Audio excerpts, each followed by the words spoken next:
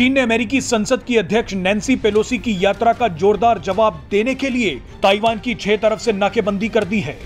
चीन के कई घातक युद्धपोत, लड़ाकू विमान और मिसाइलें ताइवान को डराने के लिए तैनात कर दी गई हैं। चीन के इस कदम से दुनिया सहमी हुई है। दुनिया को डर सता रहा है कि क्या उसे एक और यूक्रेन जैसा संकट झेलना पड़ेगा।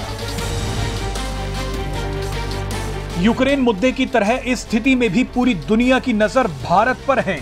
भारत ताइवान के मुद्दे पर भी एक अहम भूमिका निभाने वाला है। लेकिन आज आपको ताइवान पर भारत के एक ऐसे कूटनीतिक दाव के बारे में बताएँगे, जिसके बारे में कई लोग अभी भी अनजान हैं। ताइवान पर भारत की इस रणनीति का तोड़ चीन के पास भी नहीं था। दरअसल 2020 में भारत ने इतिहास में पहली बार एक ऐसा कदम उठाया, जिसके बारे में चीन ने कभी सोचा भी नहीं था। आपको बता दें कि साल 2020 में ताइवान की राष्ट्रपति साई इंग वेन के दूसरे शपथ ग्रहण समारोह में भारत सरकार के दो वरिष्ठ सांसदों ने हिस्सा ले लिया था। यह अपने आप में एक बड़ी घटना थी, क्योंकि इससे पहले ऐसा कभी भी नहीं हुआ था।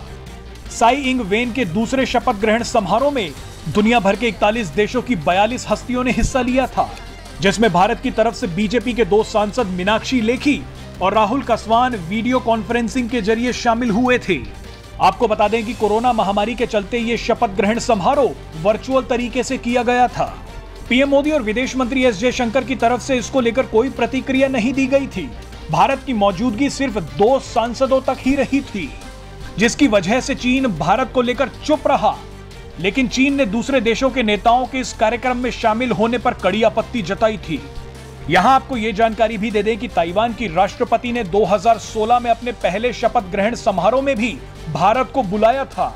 लेकिन उस समय भारत ने उस शपथ ग्रहण समारोह से दूरी बनाए रखी, क्योंकि उस समय भारत और चीन अपने संबंधों को आगे बढ़ाने की कोशिश में लगे हुए थे।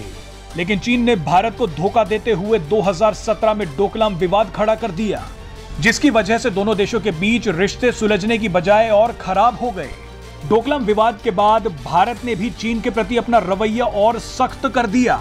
यही कारण है कि चीन को कड़ा संदेश देने के लिए भारत ने 2020 में ताइवान की राष्ट्रपति के दूसरे शपथ ग्रहण समारोह में अपने सांसदों को भेज दिया।